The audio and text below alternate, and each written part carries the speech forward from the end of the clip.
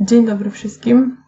Wita się z Państwem Witek Justyna, inżynier wsparcia technicznego, moduł Steel. Myślę, że powoli możemy już zaczynać dzisiejsze webinarium. Bardzo serdecznie zapraszam.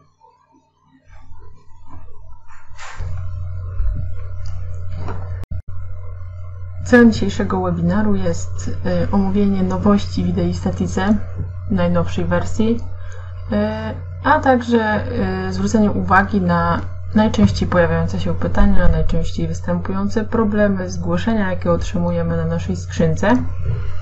To już przechodząc do konkretów, na samym wstępie będę chciała omówić nowe sprawdzenie wprowadzone do idei na podstawie Eurokodu dotyczące śrub i spoin.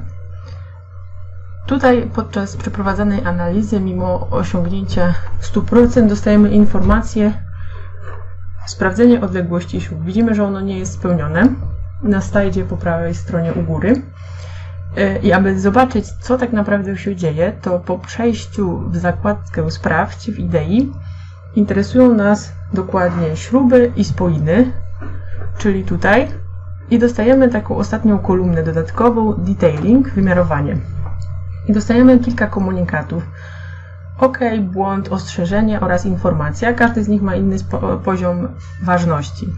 OK, czyli ten reprezentowany przez zielony przycisk zaznaczenia, oznacza, że model spełnił wszystkie niezbędne wymagania zgodnie z normą, natomiast połączenie zostało zaprojektowane bezpiecznie. Błąd, czyli najbardziej krytyczna informacja przez ikonkę czerwoną krzyżyka, ostrzega o poważnej niezgodności z wymaganiami normy i należy zwrócić uwagę na projekt odpowiedniego komponentu. Ostrzeżenie, czyli ta ikonka żółta z wykrzyknikiem, zawiera zalecenia, zwrócenie większej uwagi na projekt, ale nie bezwarunkowo konieczna jest zmiana. Tutaj to jest do naszego wglądu ikonka niebieska z literką I. Komunikat informacyjny ma charakter y, dotyczący mniej poważnych kwestii do sprawdzenia przykład plastyczności. Całość pokażę dokładnie już stricte, jak przejdę do modelu, gdzie, to, y, gdzie tych informacji szukać, gdzie to występuje y, i jak odnieść się do tych komunikatów już stricte w modelu. Jeśli Państwo korzystali z wcześniejszych wersji, to zapoznali się z Państwo z nowym układem wstążek. Ogólnie przeprojektowano ikony na wstążce w głównym oknie. Funkcjonalna, funkcjonalność natomiast pozostała bez zmian. Zmieniono również widget do edycji widoku w modelu, ta niebieska rameczka. Model 3D przednio, jak Państwo mogą zauważyć, opisy znajdowały się na szarym pasku. Osobliwość, czyli po angielsku singularity, Tą informację e, bardzo często uzyskujemy w modelu i chciałabym pokrótce omówić, czego ta osobliwość dotyczy, jakich problemów z modelem, e, gdyż też pojawiają się te pytania bardzo często.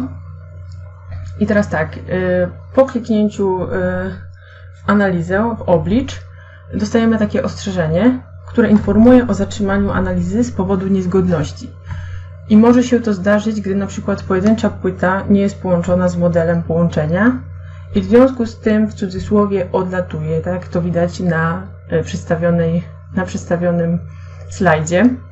Mm, bardzo istotną kwestią tutaj jest to, że my informację, czego dotyczy problem, otrzymujemy w zakładce Sprawdź, przechodząc do analizy. Widzimy, że tutaj w tej wykreślonej tabelce po prawej stronie na dole mamy informację, którego elementu informację, którego elementu dokładnie w modelu dotyczy to ostrzeżenie, gdzie występuje problem. Także my nie musimy tego szukać zakładka po zakładce, yy, operacja produkcyjna po operacji produkcyjnej, tylko wystarczy, że przejdziemy w zakładkę sprawdź, analiza i dostajemy dokładną informację, gdzie leży ten problem, do jakiego elementu się odnosi.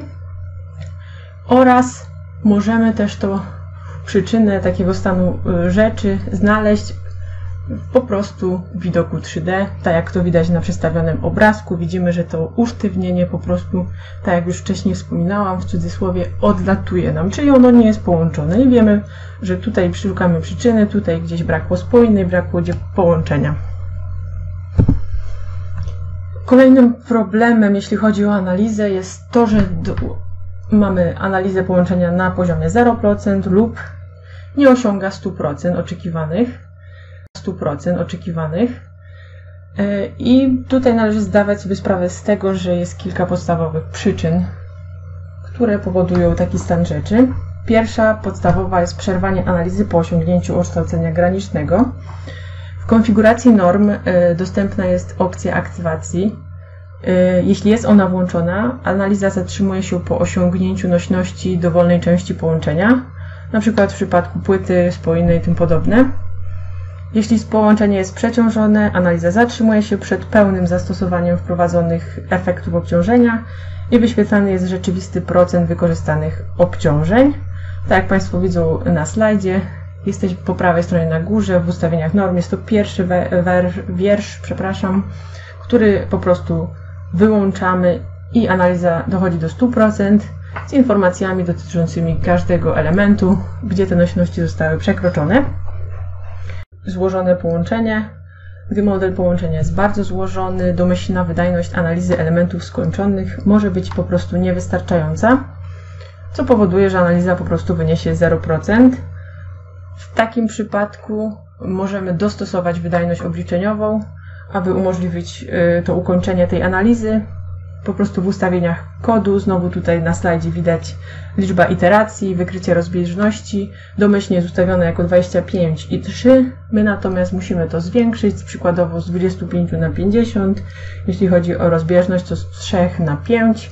Wówczas zwiększamy wydajność w ten sposób, wydłużamy czas obliczeń, ale umożliwiamy przeprowadzenie tej analizy do 100%.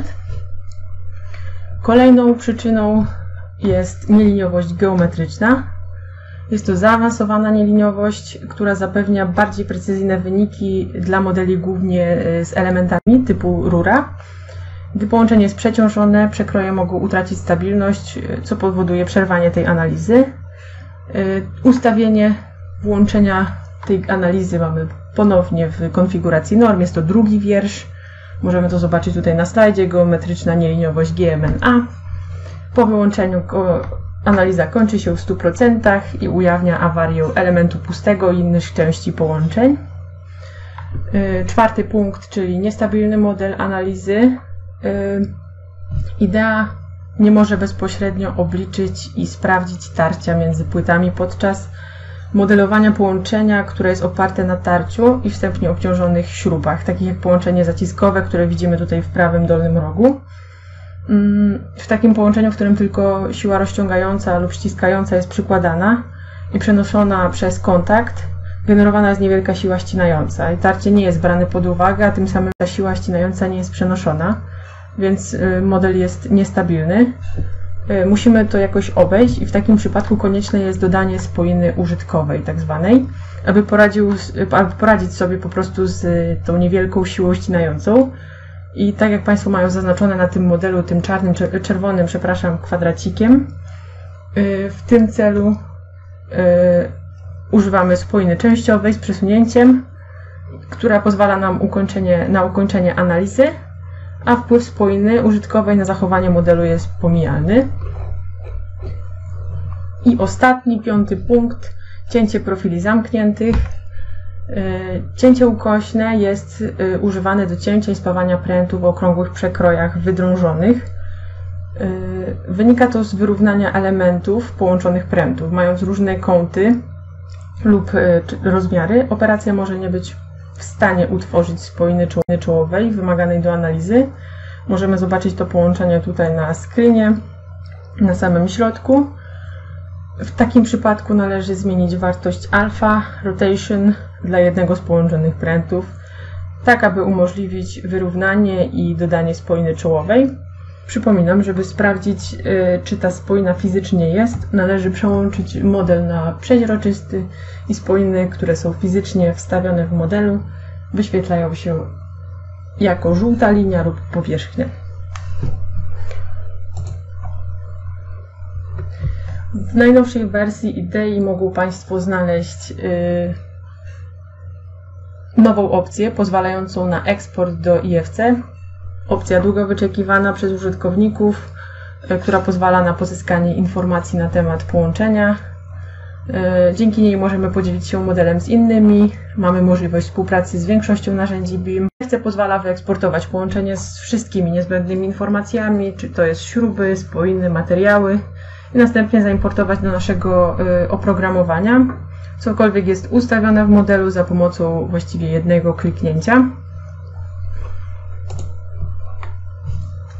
I ostatnia opcja, którą bym, na którą bym chciała zwrócić uwagę, jest to wizualizacja położenia siły ścinającej. Działając już stricte na nowszej wersji, możemy wyświetlić wykres momentów już nie tylko w sekcji obciążenia, ale również działając na operacjach modelu, po prostu wystarczy przełączyć na model przeźroczysty i nie musimy wracać do zakładki obciążeń i specjalnie wybierać konkretnych elementów. Ten wykres momentów jest nam od razu wyświetlany. Y, jak mogą Państwo y, zobaczyć tutaj po lewej stronie ekranu na dole, mamy również wprowadzoną nowe, nową funkcję siły wy. Jest to funkcja połączone czoło elementu. I aby już na sucho nie mówić tutaj, e, na czym to polega, przełączę się już stricte na model, na moduł Connection.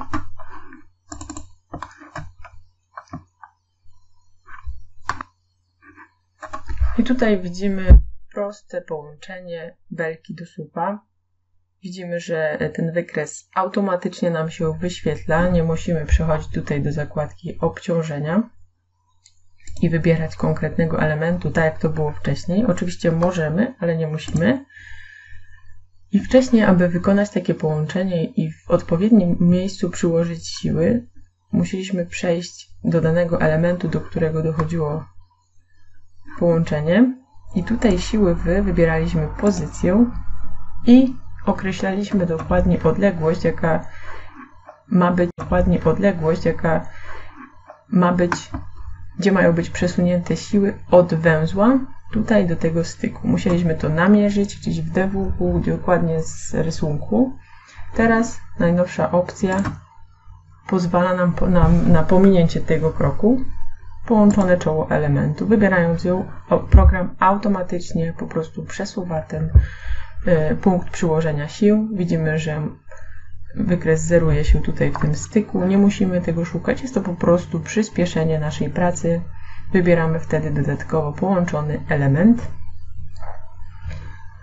Y, I w ten sposób możemy sobie uprościć naszą pracę i ją przyspieszyć.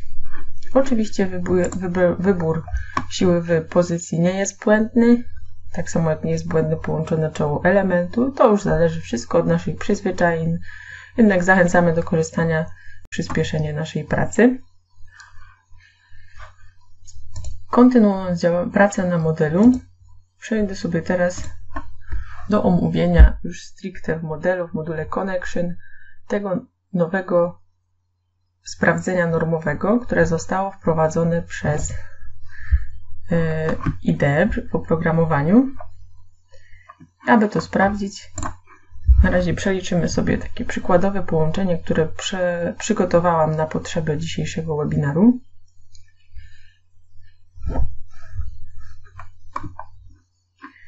Widzimy, że dostajemy wyniki jakieś i mamy analizę 100%. Tutaj wszystko się zgadza i jest pewne ostrzeżenie. Sprawdzenie odległości śrub. To jest właśnie to sprawdzenie normowe, o którym wspominałam na samym początku. Nowe sprawdzenie według Eurokodu dotyczące śrub, dotyczące śrub i spojeń. Widzimy, że tu mamy wierszu spójny, sprawdzenie dotyczy śrub.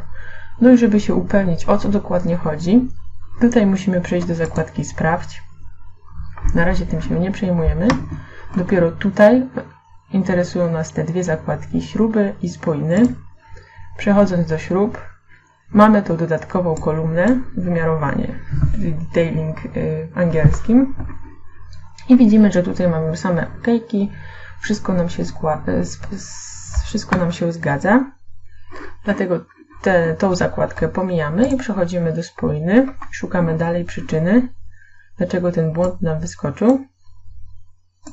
Poszerzymy sobie tylko troszkę to okno. O, i widzimy, że dostajemy już nie tylko informację, że wszystko jest w porządku, ale także mamy jakiś błąd oraz informacja do naszego wglądu. I tutaj widzimy, jakiego elementu, jakiego elementu to dotyczy. Rozwijamy ikonką plusika ten nasz raport. Wyświetlimy sobie go na większym ekranie, żeby było jaśniej i widzimy, że na końcu tego raportu mamy sprawdzenie wymogów konstrukcyjnych. Tutaj dokładnie dostajemy informację, czego dotyczy problem, według jakiej normy jest to sprawdzone. Dostajemy wytłumaczenie od razu, także nie musimy szukać. Wszystko jest y, nam podane od razu. Widzimy, że tutaj spójna jest za mała, ale proszę zwrócić uwagę, że tu jest ikonka informacyjna, czyli to nie jest źle, tylko do naszego wglądu. Jeśli chcemy, możemy to zmienić, jeśli nie, no już kwestia analizy i podjęcia e, decyzji przez inżyniera, który prowadzi obliczenia. Widzimy, że bardziej istotne są te komunikaty w tym trzecim i czwartym wierszu, bo tu mamy już stricte błąd. Ponownie sobie rozwiniemy, ponownie sobie rozwiniemy to, zobaczymy czego on dotyczy. Podgląd wydruku i mamy sprawdzenie wymogów konstrukcyjnych. Wybrano mocniejszy materiał spójny niż najsłabszy łączony metal elementów. Czyli widzimy, że problem tkwi w, tkwi w materiale. No i będziemy to musieli zmienić. Zamykamy to, sprawdzamy jakiego elementu dotyczy ten komunikat CPL1A, tu mamy B, jest CPL1A i widzimy, że najeżdżając kursorem na myszkę na, w lewym dolnym rogu wyświetla nam się materiał S235, spoimy mamy 355 i ten materiał znowu 235, czyli tak jak w komunikacie. I teraz, żeby to sprawdzenie w całe wyszło, muszę zmienić tą spoinę. I od razu wspomnę tutaj o nowej opcji. Wcześniej, aby taką spoinę zmienić, w zakładce projektu musieliśmy przejść do, do operacji produkcyjnej, gdzie ta zaklikała się wtedy ta operacja produkcyjna i zmienialiśmy to w, te, w tych wierszach. Teraz jest to znacznie prostsze. Prawym przyciskiem myszy klikamy na spoinę i widzimy, że mamy wszystkie opcje do wyboru. Czyli jeszcze raz prawym przyciskiem myszy na spoinę. Tutaj jest S355, my chcemy dodać 235, więc zmieniamy ten materiał. No i zobaczymy, czy te błędy znikną. Ponownie przeliczymy sobie to połączenie.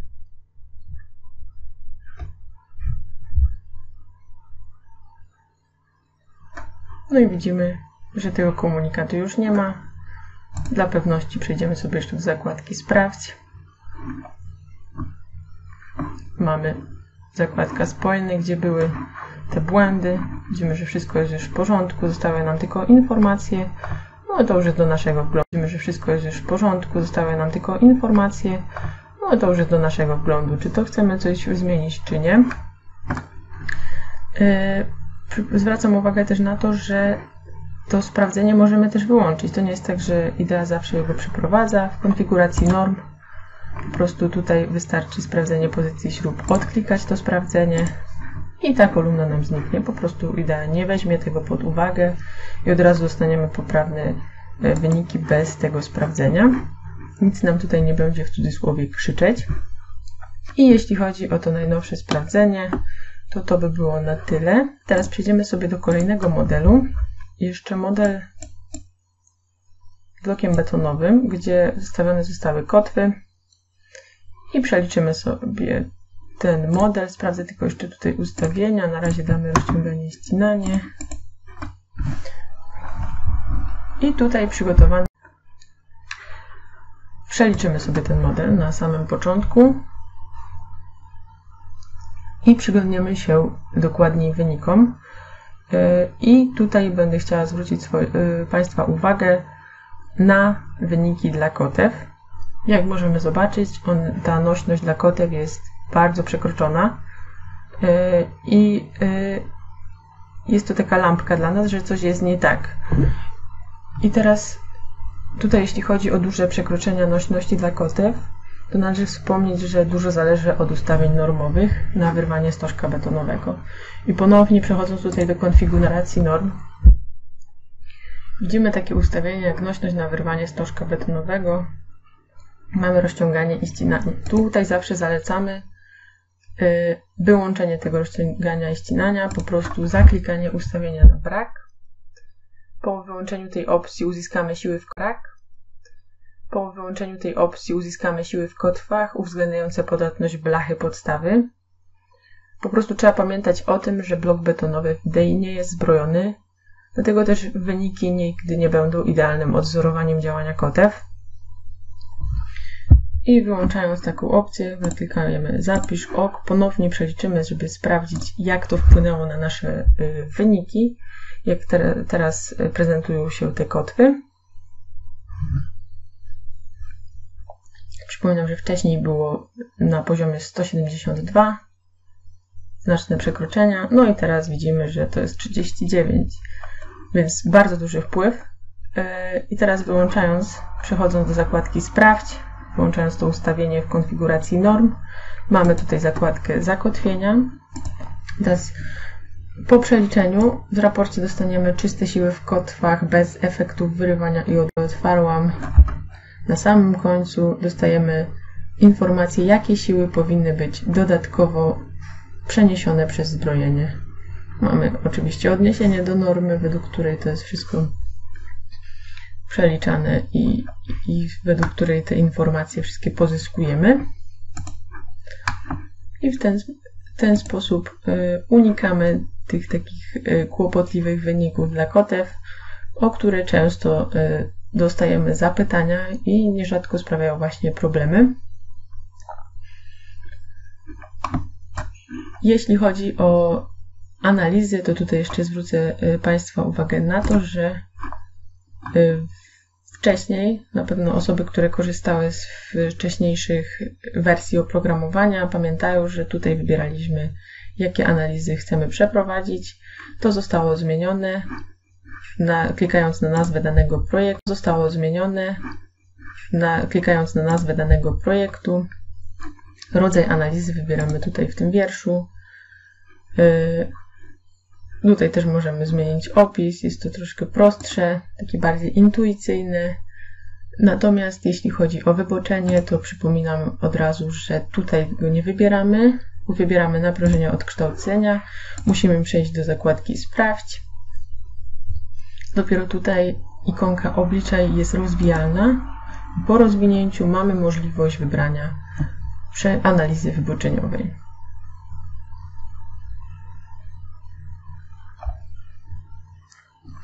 I wracając jeszcze tutaj do bloku betonowego, z takich dodatkowych tipów, przypominam, że blok betonowy możemy edytować. To nie jest tak, że on jest yy, musi być równomierny. Po prostu i to nie jest tak, że możemy tutaj wpisać jedną, jedyną wartość, tylko jak Państwo mogą zobaczyć, jak najadę kursorem na dany wiersz, mogę nadać offset bloku betonowego od krawędzi płyty podstawy i nie tylko, nie w, w każdym kierunku y, taki sam offset, tylko po spacji po prostu widzimy, że jest lewo, prawo, góra, dół, każdy offset mogę wprowadzić inny i przykładowo będzie 300, 500, 500 i 800 i zobaczymy, czy to pomoże, czy się sprawdzi. No widzimy, że ten offset możemy dopasowywać. Po prostu zwracam uwagę na to, że często y, nie do końca wszystko jest y, tak idealnie jasne tutaj w tych wierszach, bo są skrótowe te wszystkie opisy. Po prostu jeśli mamy jakąś jakąś wątpliwość, wystarczy kursorem najechać i dostajemy dodatkowe informacje, dodatkowe wytłumaczenie, co jeszcze możemy uzyskać, jak do tego podejść, jak do tego podejść. Jest po prostu króciutki opis. Wystarczy najechać kursorem, chwileczkę poczekać i widzimy całą instrukcję.